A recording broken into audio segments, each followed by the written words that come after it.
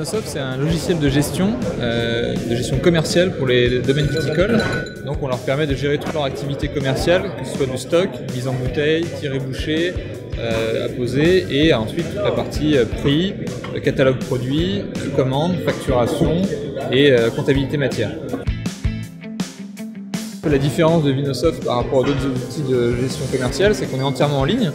Donc en fait, il y, a juste un abonnement euh, faire sur le logiciel et le logiciel est accessible sur Internet, donc partout, que ce soit en salon, comme aujourd'hui à Vinexpo, ou euh, au domaine, au caveau. Et euh, du coup, les, vignerons peuvent accéder à leur outil et travailler directement depuis un navigateur Internet sur Internet.